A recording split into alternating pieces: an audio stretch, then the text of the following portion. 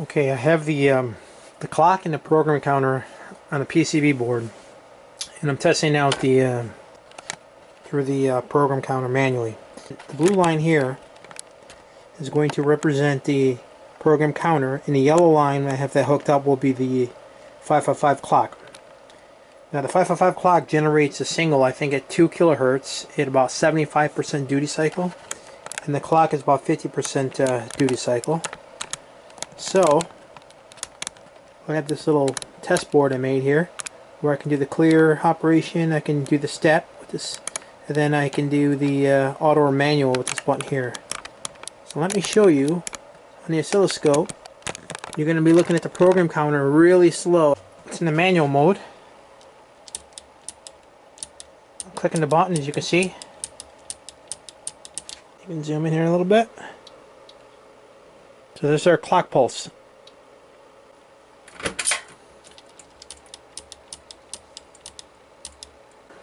Counting in binary.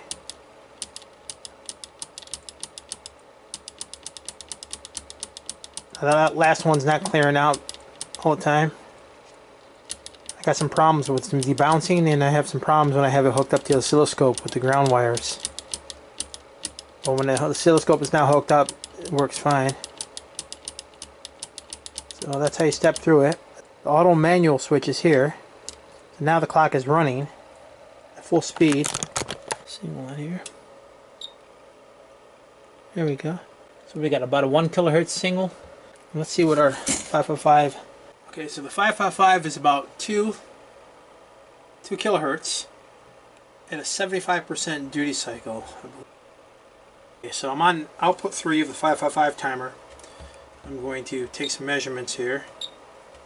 I want to see the frequency and I want to see the duty cycle.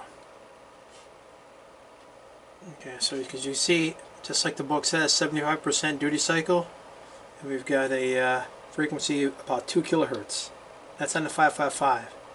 So, if you don't know what this is, duty cycle, uh, this, this is how, how much time see this line here, how much time it's on as opposed to off. So 75% of this is on, 25% of it is off. That's duty cycle. The, the 555 timer is faster than the program counter because the program counter is dividing down the clock to a more stable square wave. So if I were to look at the uh, program counter, two singles side by side. So let me just stop this thing so you can see. The clock is faster than the program counter and the program counter is uh, running at 50% duty cycle where the clock is running at 75% duty cycle. So the off time and the on time are the same on the program counter. When I built this thing I had to watch. the schematics didn't call for any kind of resistors or capacitors uh, for debouncing a switch. I have all kinds of problems in uh, debouncing a switch when running in manual mode. So there's a little circuit of a script debouncer. You can try to add that into the switch lines.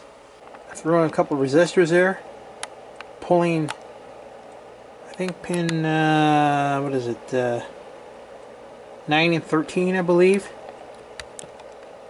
Too high. And that seemed to debounce it. I don't have the capacitor in there. And it's only 1K resistors. May, you know, might be better with the 210K uh, voltage divider method with the capacitor. Which is in this circuit here. Anyway, thought I'd share that with you.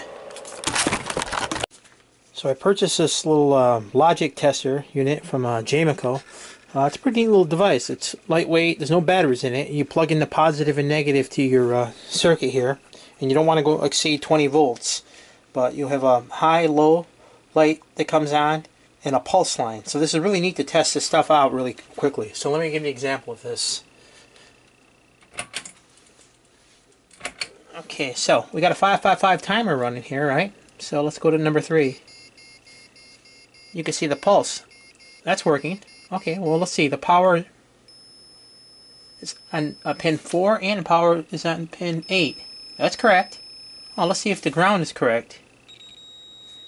The ground is shown low. So there's different sounds depending on the low and high. And there's even different sounds on uh, on the amount of uh, current or voltage on the line. And there's also this little memory uh, a pulse playback, which I think if you, it can record a sequence of uh, highs and lows, then play it back. I haven't tried that yet. But let's test out all these other ones here. Let's see if we got a good ground in every one of them. We do. What's this? Oh, that's high because the chip's in the other way around, so the ground's that way. Okay, let's see. Well, ground, positive. Um, how about uh, what's happening here? Oh, look at that.